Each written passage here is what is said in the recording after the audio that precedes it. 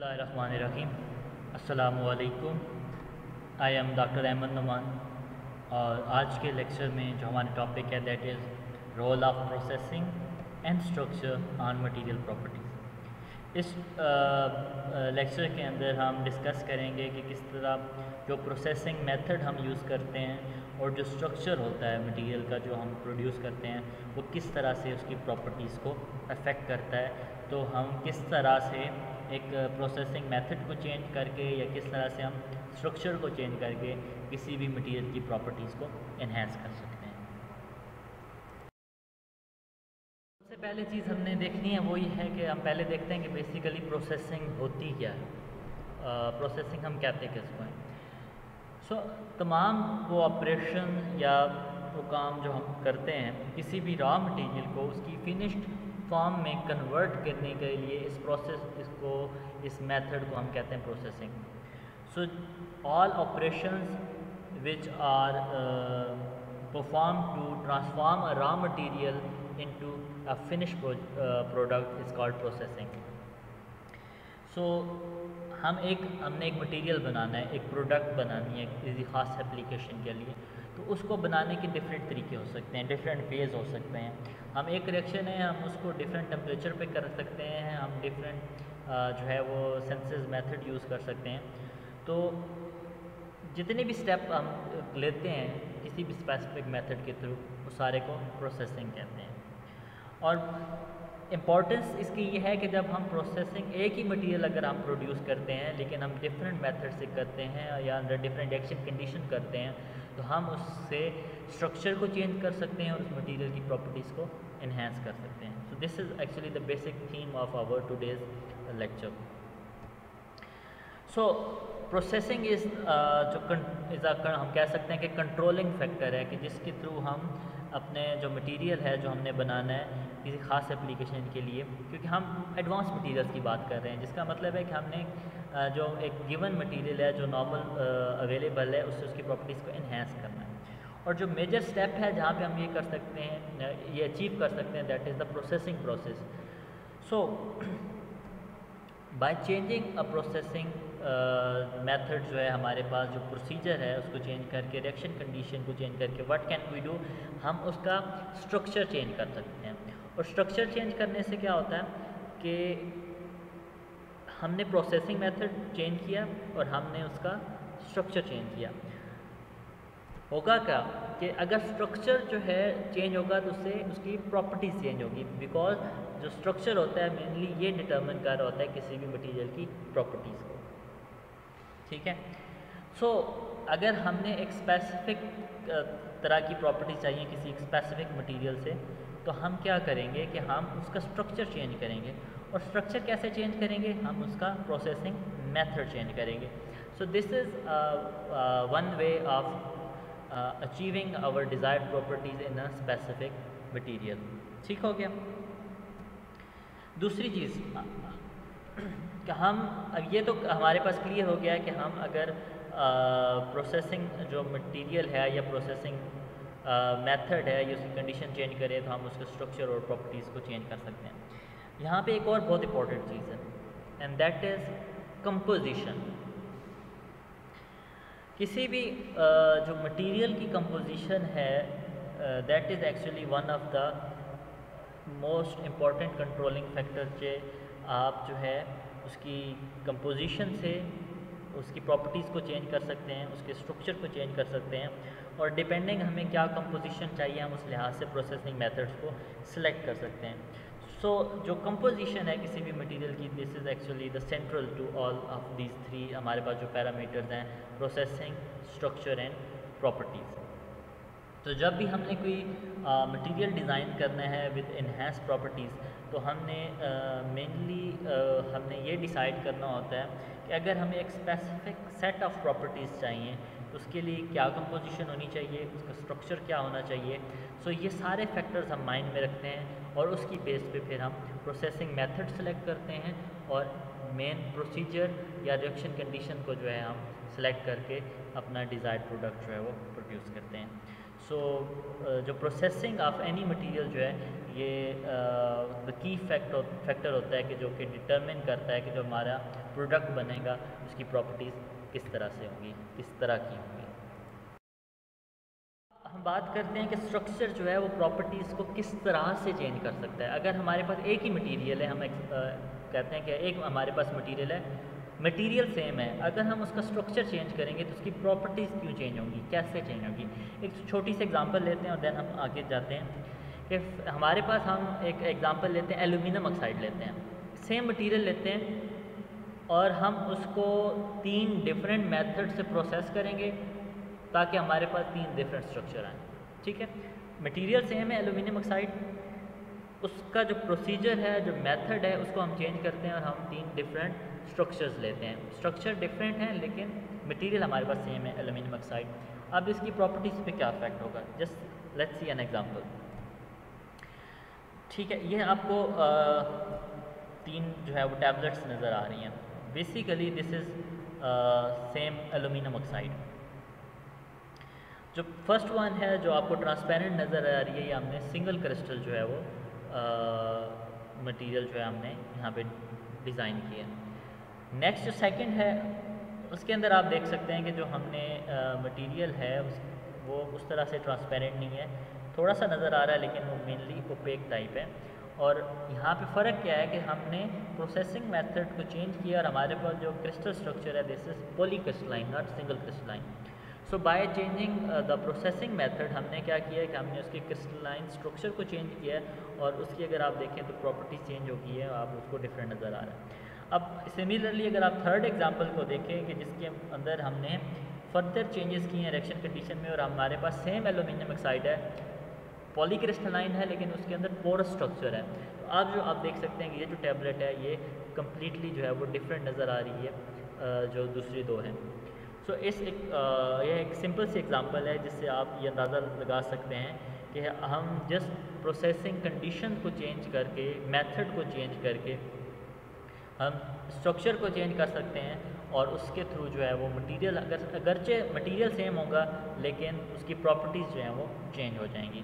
सो so, अब depend ये करता है कि हमने एक मटेरियल है फॉर एग्जांपल यहीं पे एलुमिनियम ऑक्साइड है तो हमें कौन सा एलुमिनियम ऑक्साइड चाहिए? हमें ट्रांसपेरेंट चाहिए या जो बिल्कुल जो लास्ट है जो पोर्स वाला है? तो डिपेंडिंग कि हमने किसी मटेरियल्स को कहाँ पे यूज़ करना है हमें क्या प्रॉपर्टीज़ चाहिए तो फिर हम वो वाला मेथड सेलेक्ट करेंगे जिससे हम उस तरह का मटीरियल प्रोड्यूस कर सकते हैं। सो so बेसिकली जो प्रोसेसिंग मेथड होता है ये हम इस बेस पे सिलेक्ट करते हैं कि हमें उस मटेरियल को कहाँ अप्लाई करना है और हमें कौन सी प्रॉपर्टीज़ चाहिए। सो so, हम पहले ये डिसाइड करते हैं किसी भी स्ट्रक्चर को डिज़ाइन करते हुए कि हमें प्रॉपर्टीज़ कौन सी चाहिए उस स्पेसिफिक एप्लीकेशन के लिए और उसकी बेस पे फिर हम उसका स्ट्रक्चर डिसाइड करते हैं और फिर उस स्ट्रक्चर को अचीव करने के लिए जो है वो मेथड सेलेक्ट करते हैं उसके अंदर रिएक्शन कंडीशन को चेंज करते हैं। ठीक है? इंपॉर्टेंट uh, चीज़ ये है कि जब भी हम एडवांस मटेरियल्स की मोस्टली बात करते हैं तो वहाँ पे हम बात करते हैं कि जी nano materials nano particles nano structures की बात करते हैं कि जितने भी आप एडवांस मटेरियल्स की बात करें चाहे वो कोटिंग्स हों चाहे वो दूसरे मटेरियल हों तो मोस्टली वहाँ पे नैनो मटेरियल्स यूज़ हो रहे होते हैं। अब यहाँ पे सवाल पैदा ये होता है कि हम नैनो मटेरियल्स को ही क्यों यूज़ करते हैं? एक ये फ़ेमस कोट है कि जी smallness leads to new properties के जब आप साइज़ रिड्यूस करेंगे किसी चीज़ का तो उसकी न्यू प्रॉपर्टीज़ जो है वो जनरेट होंगी। तो ऐसा क्यों है कि अगर हम एक मटेरियल ले रहे हैं, वो बल्क साइज़ में है लार्ज साइज़ है, उसकी प्रॉपर्टीज़ डिफरेंट हैं। जब हम उसको छोटा करते हैं साइज़ में तो उसकी प्रॉपर्टीज़ चेंज हो जाती हैं। मटीरियल सेम है तो ऐसा क्यों होता है? सो मेनली इट इज़ जो बेस्ड ऑन सरफेस एरिया अब सरफेस एरिया जो है किसी भी चीज़ का कितना सरफेस जो एरिया वो अवेलेबल है कितनी सरफेस अवेलेबल है रिएक्शन के लिए ये इंतहाई इम्पोर्टेंट है किसी भी चीज़ का uh, जो उसकी रिएक्शन एफिशिएंसी को डिसाइड करने में। आप एक जो नीचे डायग्राम नज़र आ रही है इसके अंदर देखेंगे जो पहली एग्जांपल है जिसके हमारे पास एक क्यूब मौजूद है बड़ा। आप एक क्यूब के आप देख सकते हैं कि टोटली छः साइड्स होती हैं। अब ये जो क्यूब है ये वन सेंटीमीटर है इसकी जो एक फेस है। सो so, ओवरऑल अगर हम इसको देखें इसका एरिया कैलकुलेट करें तो सिक्स सेंटीमीटर क्यूब बनता है। ये जो एक क्यूब है। लेकिन इस एक क्यूब को अगर हम जो सेकंड सेंटर वाली डायग्राम में देखें कि हम अगर एक क्यूब बड़ी नहीं बनाते वन सेंटीमीटर वाली हम वन मिलीमीटर के छोटे छोटे क्यूब्स बनाते हैं। तो अब आप देखें कि उसके अंदर जब छोटे छोटे क्यूब्स हैं सरफेस तो वही छः हैं हर क्यूब की। लेकिन पहले जो सरफेसेस जो बाहर वाली सरफेस हैं, वो तो पहले भी जो मेन सरफेस है उसके अंदर अवेलेबल थी। लेकिन जो इंटरनल जो सरफेस हैं या जो सेंटर में जो क्यूब्स निकल रहे हैं, पहले तो वो अंदर थे पैक थे ना, सिर्फ़ बाहर वाली सरफेस अवेलेबल थी तो वो रिएक्शन में हिस्सा नहीं ले सकते थे। तो अब जब हमने छोटे छोटे क्यूब्स बनाए हैं वन मिलीमीटर के तो अब इसका जो सरफेस एरिया है, वो बढ़ जाएगा। Around sixty centimetre cube ten time जो है उसका सरफेस एरिया जो वो इंक्रीज़ हो जाता है। तो बेसिक हमने किया क्या है कि हमने सिर्फ़ उसका साइज़ रिड्यूस किया है, जिसकी वजह से उसका जो अवेलेबल सरफेस एरिया वो इंक्रीज़ हुआ है, जिसकी वजह से उसकी एक्टिविटी इंक्रीज़ हुई है, क्योंकि उसकी जो एक्टिव साइट है, जो सरफेस एरिया है, कि जो रिएक्शन में हिस्सा लेता है, वो इंक्रीज़ हो गया। इसकी जो प्रॉपर्टीज़ हैं, वो इन्हांस हो जाएँगी। अब हम बात करते हैं नैनो मटीरियल की। हम नैनो मटीरियल्स की तरफ़ क्यों ज़्यादा जाते हैं, जो भी एडवांस मटीरियल है? तो इसी एक जो सेंटीमीटर वाला क्यूब है, अगर हम इसको नैनो मटीरियल में चेंज करें अब आप थर्ड एग्जांपल दे सकते हैं, वो छोटे छोटे पाउडर लाइक पार्टिकल नज़र आए। अगर हम जस्ट इस वन सेंटीमीटर क्यूब को कि जिसका surface area six centimetre cube है, अगर हम कन्वर्ट करते हैं नैनो पार्टिकल वन नैनोमीटर के जो क्यूब्स के अंदर तो इसका जो सरफेस एरिया तकरीबन छः करोड़ सेंटीमीटर स्क्वायर बन जाएगा विच मीन्स के हमने उसके सरफेस एरिया को जस्ट साइज़ रिड्यूस करके तकरीबन एक करोड़ दफ़ा, एक करोड़ गुना जो है, एक करोड़ टाइम जो है हमने उसको इन्हेंस कर लिया। तो जब उसका सरफेस एरिया इंक्रीज़ होता है इट्स मीन उसके ऊपर जो एक्टिव साइट्स हैं जो ऊपर मौजूद हैं वो सारी इंक्रीज़ हो रही हैं। सो so, अब अगर हम सेम मटेरियल है मटेरियल हमारे पास सेम है सेम वेट है सेम मास है तो अगर हम इस नैनो मटेरियल साइज़ में अगर उसको यूज़ करेंगे और जो बल्क है हम उसको यूज़ करेंगे तो उसकी जो रिएक्टिविटी है उसकी जो प्रॉपर्टीज़ हैं उनके अंदर बहुत ज़्यादा डिफरेंस होगा। क्योंकि जो हमारे पास नैनो साइज़ में है उसके जो एक्टिव साइट्स हैं वन एक करोड़ जो है वो टाइम उसकी जो है वो ज़्यादा है अवेलेबल है। सो इस तरह से सरफेस एरिया इंक्रीज़ करके हम किसी भी मटेरियल की जो प्रॉपर्टीज़ हैं, उनको इन्हेंस भी कर सकते हैं और चेंज भी कर सकते हैं। और यही रीज़न है कि जो हमारे पास मोस्टली एडवांस मटेरियल्स होते हैं, उनके अंदर हम नैनो साइज़ के अंदर जो है वो मटेरियल्स को यूज़ करते हैं बल्क मटेरियल को यूज़ नहीं करते। लेट्स टेक एन एग्ज़ाम्पल कि हम इनको जो है वो किस तरह से चेंज कर सकते हैं इन प्रॉपर्टीज़ को थ्रू साइज़ रिडक्शन तो ये हमारे पास एक एग्जांपल है एक पेंटिंग है ये थाउज़ेंड ऑफ़ ईयर्स पुरानी है काफ़ी सारे ये इस तरह के आर्ट मिलते हैं मोस्टली चाइनीज़ जो ओरिजिन है वहाँ पे जो पुरानी पेंटिंग्स मिली हैं। तो मोस्टली एक ग्लास है जिसको पेंट किया गया हुआ होता है डिफरेंट कलर्स के साथ। सो so, यहाँ पे आपको डिफरेंट रेडिश कलर भी नज़र आ रहा है ब्लूश शेड्स भी हैं और जो इसमें येलोइश कलर भी है डिफरेंट शेड्स आ रहे हैं मल्टीपल शेड्स हैं ब्लैक सो so, यहाँ पे एक इंपॉर्टेंट चीज़ ये है आपके लिए कि ये जितने भी कलर यूज़ हुए हैं बेसिकली यहाँ पे कोई डाई यूज़ नहीं की गई। ये जो पेंटिंग्स होती हैं बेसिकली ये बनी बनाई जाती हैं गोल्ड से। सो so, ये पेंटिंग के अंदर जो डिफरेंट कलर हैं ये सारे गोल्ड के कलर हैं। इसके अंदर कोई और कलर यूज़ नहीं किया गया। तो फ़र्क सिर्फ़ कितना है कि ये सेम गोल्ड है तो उससे ये डिफरेंट कलर कैसे अचीव किए गए हैं? गोल्डन के अलावा उसके अंदर जो ग्रीनिश लुक आ रही है, जो रेडिश लुक आ रही है, जो ब्लूइश लुक आ रही है किस तरह से आई है? क्योंकि हम देख, जानते हैं कि गोल्ड मोस्टली जो है वो पार्टिकल्स होते हैं, वो गोल्डन कलर के होते हैं। सो बेसिकली ये डायग्राम अगर आप देखें तो यहाँ पे आप देखेंगे कि जो पहली हमारे पास वेसल है, जिसके अंदर मटेरियल पड़ा है, जहाँ पे गोल्ड के पार्टिकल का साइज़ सबसे छोटा है। अच्छा यहाँ पे हमारे पास पाँच डिफरेंट ट्यूब्स हैं ग्लास वाइल्स हैं जिसके अंदर आपको डिफरेंट कलर नज़र आ रहे हैं। नीचे आपको डिफरेंट साइज़ के जो है वो गोल्ड पार्टिकल नज़र आ रहे हैं। अब हैं ये सारे गोल्ड के पार्टिकल मटेरियल सेम है शेप सेम सेम है सारे जो है वो स्फेरिकल हैं। सिर्फ़ डिफरेंस क्या है? इनके साइज़ का। सो so, अगर आप यहाँ से सबसे छोटे जो पार्टिकल है वहाँ से देखें तो आप देखते हैं कि जो ऊपर वायल के अंदर जो कलर है सोल्यूशन का वो डिफरेंट है। जब हम पार्टिकल का साइज़ इन्हांस करते हैं इंक्रीज़ करते हैं तो कलर चेंज हो जाता है। जब थर्ड और इंक्रीज़ करते हैं, और चेंज हो जाते हैं तो अगर आप लास्ट स्लाइड में देखें तो हमारे पास जो है वो कलर ब्लूश टाइप का शेड आ जाता है। सो दैट शोज़ कि हम जब साइज़ को चेंज करते हैं किसी भी चीज़ के तो हम सिर्फ़ उसकी रिएक्टिविटी को इंक्रीज़ नहीं कर रहे कि उसकी एक्टिव साइड्स बढ़ गई हैं तो उसका रिएक्शन जो है वो इन्हेंस हो जाएगा और उसकी प्रॉपर्टीज़ बल्कि हम उसकी जो ऑप्टिकल प्रॉपर्टीज़ हैं, उनको भी चेंज करते हैं। तो सेम गोल्ड को जो पार्टिकल हैं उसको हम साइज़ को चेंज करके हम ये डिफरेंट जो शेड्स हैं जो कलर्स हैं, वो हम प्रोड्यूस कर सकते हैं। सो so, एक एग्जांपल हम और देखते हैं कि जिसके अंदर हम देखते हैं कि शेप जो है किसी भी मटेरियल की अगर हम सेम मटेरियल ले रहे हैं उसकी कंपोजिशन सेम है सिर्फ़ उसकी शेप डिफरेंट है तो वो किस तरह से उसकी प्रॉपर्टीज़ को चेंज कर सकती है। हमने पिछली एग्जांपल लिए गोल्ड की जहाँ पे हमने देखा है कि अगर हम सिर्फ़ उसका साइज़ चेंज करते हैं तो उसका जो है कलर चेंज होता है। तो इस एग्ज़ाम्पल में हम देखते हैं कि अगर हम शेप चेंज करें तो क्या उसकी जो ऑप्टिकल प्रॉपर्टीज़ हैं, या दूसरी प्रॉपर्टीज़ हैं, उन पर कोई इफ़ेक्ट पड़ेगा या नहीं?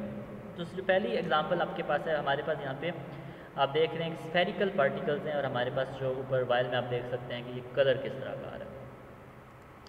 अगर हम इस शेप को चेंज करते हैं रिमेंबर हमारे पास मटेरियल सेम है। हम कंपोजिशन चेंज नहीं कर रहे, हम सिर्फ़ शेप चेंज कर रहे हैं मटेरियल सेम है।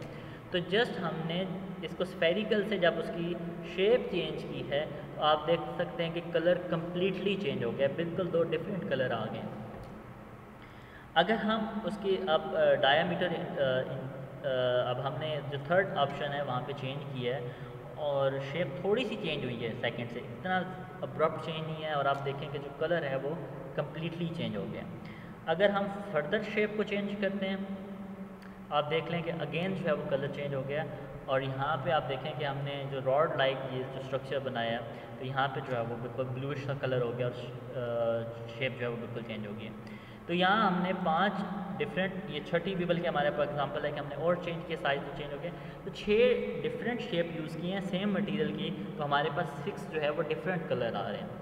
तो इसका मतलब है कि ना सिर्फ़ साइज़ बल्कि शेप को चेंज करके सेम मटेरियल की हम उनकी प्रॉपर्टीज़ को चेंज कर सकते हैं। जैसे यहाँ पे आप देख सकते हैं कि उनकी ऑप्टिकल जो प्रॉपर्टीज़ हैं वो चेंज हो गई हैं, उनका जो कलर है वो चेंज हो गया। एंड मज़े की बात यह है कि ये जो छः के छः आपने ये कलर देखे हैं बेसिकली ये गोल्ड पार्टिकल्स हैं गोल्ड नैनो पार्टिकल्स हैं। तो सेम गोल्ड है, हमने उसको सिर्फ़ और सिर्फ़ क्या किया है कि हमने उसको डिफरेंट शेप के अंदर प्रोड्यूस किया और just by changing the shape of gold nano particles हमारे पास जो सोल्यूशन आ रहा है उसके जो कलर है चेंज हो जाता है। सो so, हमारे पास अगर एक मटेरियल है यहाँ पे हमने जो दो एग्जांपल देखी हैं लास्ट स्लाइड में उसमें कि हमारे पास है गोल्ड है। हम गोल्ड यूज़ कर रहे हैं और कोई मटेरियल नहीं यूज़ कर रहे हैं। सिर्फ़ गोल्ड है प्योर गोल्ड है अगर हम उसका शेप सेम रखते हैं स्फेरिकल है और उसका साइज़ चेंज करते हैं तो साइज़ से उसकी प्रॉपर्टीज़ चेंज हो रही हैं। और अगर हम उसको शेप चेंज करते हैं तो तब भी उससे जो है वो प्रॉपर्टीज़ चेंज हो रही हैं। So by using processing methods क्योंकि हम जो साइज़ और शेप चेंज कर रहे हैं मेनली किस पे डिपेंड कर रहा है? ये डिपेंड कर रहा है कि हमने किस तरह से प्रोसेस की है।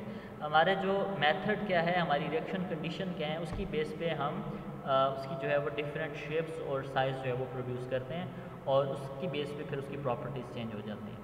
So this is our main theme of this lecture के uh, हम जो रिएक्शन कंडीशन को चेंज करके प्रोसेसिंग मेथड्स को चेंज करके हमारा मटेरियल की का स्ट्रक्चर है, उसकी साइज़ है, उसकी शेप है, हम उसको चेंज कर सकते हैं और इंटरन जो है, हम अपनी डिज़ायर्ड प्रॉपर्टीज़ जो है, उसमें से प्रोड्यूस कर सकते हैं। और ये सिर्फ़ लिमिटेड नहीं है, जो हम ऑप्टिकल प्रॉपर्टीज़ पे या वो के ट्रांसपेरेंट हैं, या ओपेक है। इसके अलावा जितनी भी जैसे मैकेनिकल प्रॉपर्टीज़ हैं केमिकल प्रॉपर्टीज़ हैं मैग्नेटिक प्रॉपर्टीज़ हैं, इन सबको जो है, हम मैनिपुलेट कर सकते हैं जस्ट उनकी स्ट्रक्चर को शेप को और साइज़ को चेंज करके इंटर्न और उसके लिए हम क्या करते हैं कि हमें मेथड को चेंज करना पड़ता है या हमें रिएक्शन कंडीशन को चेंज करना पड़ता है।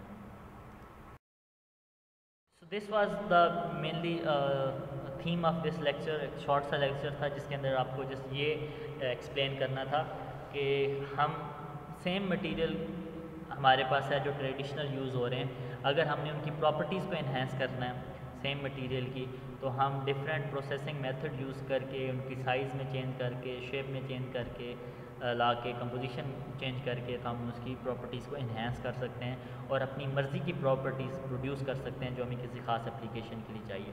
क्योंकि आपके जहन में एक सवाल आ सकता था कि हमने गोल्ड ले रहे हैं अब गोल्ड की प्रॉपर्टीज़ तो सेम है, वो कैसे चेंज हो सकती हैं? या हम कैसे ऑलरेडी एग्जिस्टिंग आप